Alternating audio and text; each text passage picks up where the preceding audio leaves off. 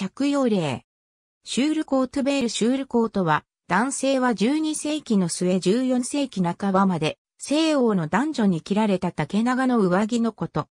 シクラス、サーコートとも、コットという竹の長いチュニックの上に重ねて着る、緩やかな外出用の上着で、男性は長くてもくるぶし丈、女性は床に引きずる程度の長さであった。長袖のものは、やや珍しく、大半が袖なしもしくは半袖程度の短い袖。14世紀に入ってタイトなコットが流行するとシュールコートゥベールという脇を大きく食ったタイプが大流行する。もともとはシュクラスといって十字軍兵士が使った白麻の陣羽織の一種であった。金属でできた鎧が光を反射するのを抑えるためと、雨による錆を抑えるために着るようになったものだが、戦場で乱戦となった時に、他の騎士と見分けがつきやすいように盾につけていた自分の紋章などを大きく飾る場合もあった。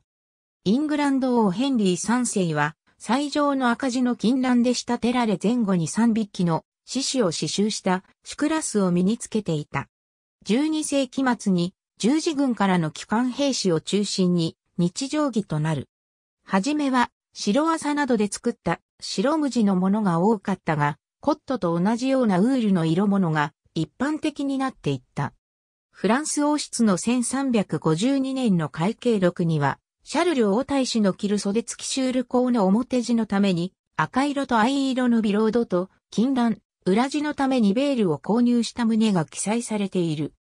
色は赤が人気で濃い青や黒や白などもよく使われた。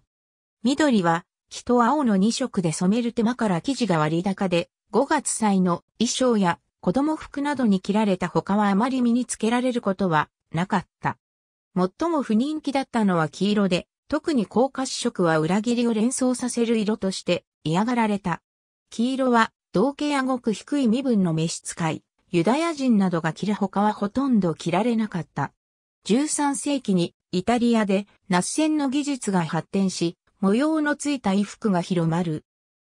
模様は無地かチラシ模様が人気で、縞模様は色性として使われたが、旅芸人や娼婦などに着用が強制されるなど人気が低かった。13世紀から14世紀の流行として、ミパルティという片身代わりの装飾がある。宮廷銅消しを中心に色瀬などに好んで使われ、即位式などでは、主君の武具に使う色の組み合わせを身にまとって、標準の意思を表明した。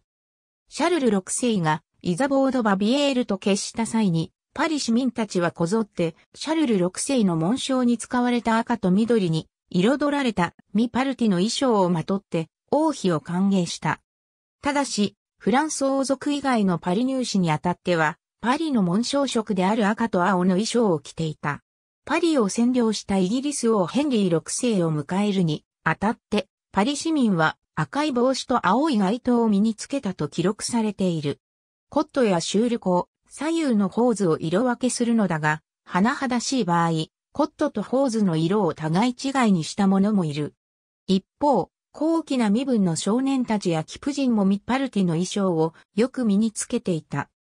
前述のシャルル王太子のシュールコは、一つが金蘭で縁飾りをつけた藍色のビロードで、もう一つが赤と藍のミッパルティであった。王太子だけでなく、同時に衣服を新調した弟やいとこもミパルティの衣装を仕立てている。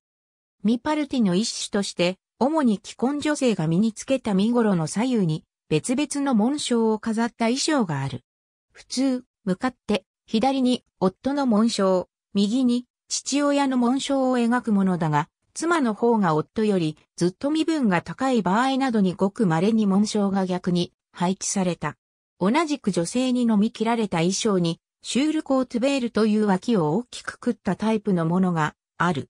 タイトなコットンの流行に従って、腰のラインと美しく刺繍された布体を見せる目的で考案されたものだったが、教会からは不死柄な衣装とみなされていた。ありがとうございます。